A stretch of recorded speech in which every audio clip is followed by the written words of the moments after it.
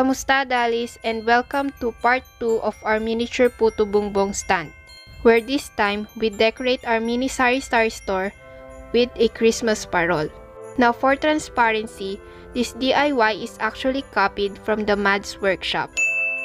Though I did alter it a bit to make it smaller for our store. But if you want something bigger and more detailed, definitely go check his video out. Now here are the materials. First start by drawing a star with a length and width of 4 centimeters. Now I just draw it free-handed, but if you want it more precise, you can definitely print something out.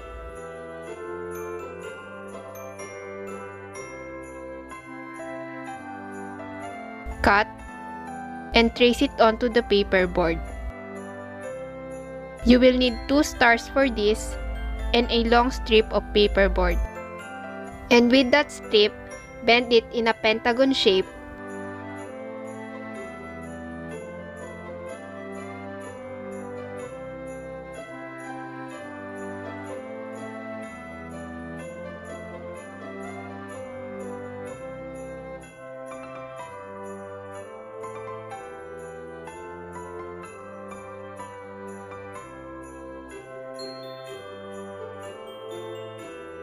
and glue it at the very center.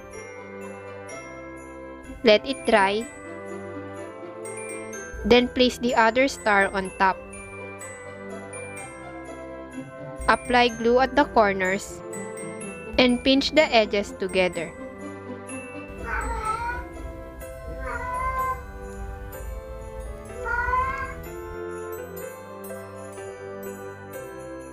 Next, cover its entirety with cellophane or plastic bag.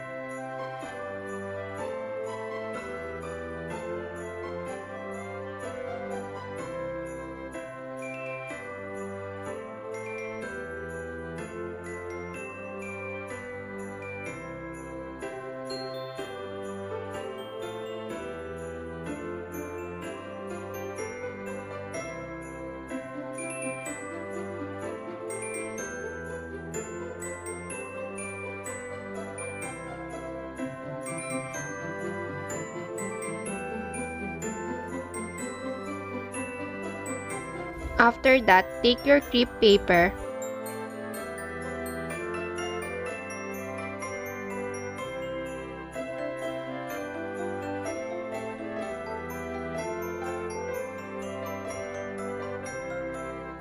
and cut little slits at the folded side. Very careful not to snip all the way. Cut the strips into three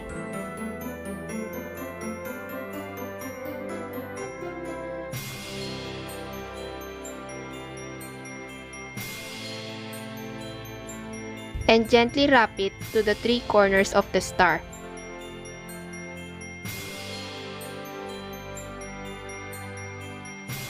Next is the tail. Cut two squares from the same crepe paper and fold it into a triangle. Keep folding until it gets smaller and cut across them like this.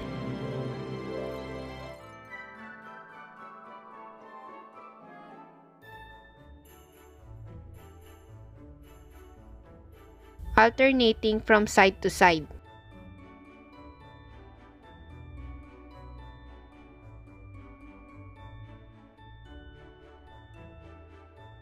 Once you reach the end, gently unfold them and separate the cuts. Careful not to tear the paper.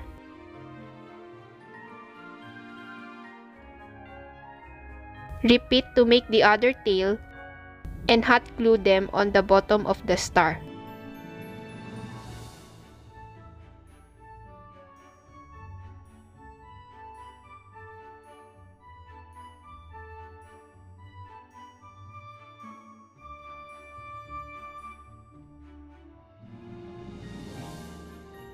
Then with the thread, I added a loop at the top of the star. Now to hook them to our sari-sari store, I hot glue a stick at the top.